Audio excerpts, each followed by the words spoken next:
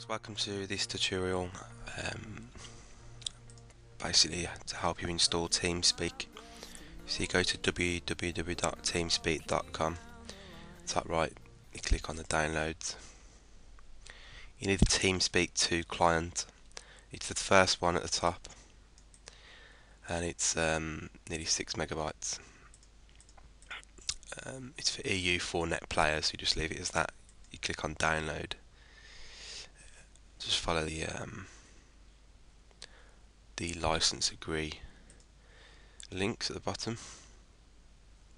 And then I would save it to your desktop or you can run it, it's up to you. Um, probably the quickest way to do it is clicking on run. That'll go straight through the installation process so if you click on run. Okay so once you've downloaded TeamSpeak uh, you will have an icon on your desktop. TeamSpeak 2 RC2 just here Once you've got that, double click on it and open it.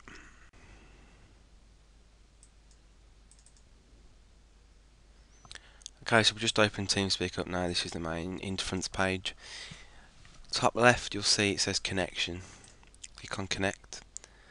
Sorry, click on connection, then click on connect within the uh, tab menu. So click on connect, you'll get a white screen like this. You won't see all this on the right, all these boxes. What you need to do is in this big white box is right click and then click on add server. Okay, so you can name the server BVA if it's going to be BVA, it's going to be 4.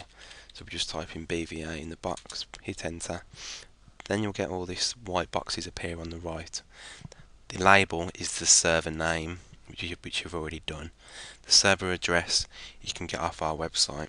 I'll just type it in now. It's 85.236.100.35 colon, which is the two little dots to be shift colon 10707.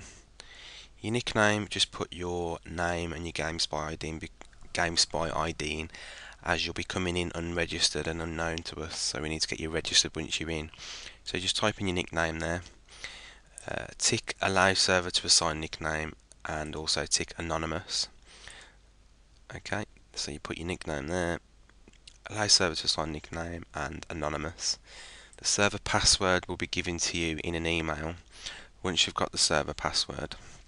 You type it in into there and then all you do is click on connect. And then you're in the TeamSpeak for BVA they can see all the channels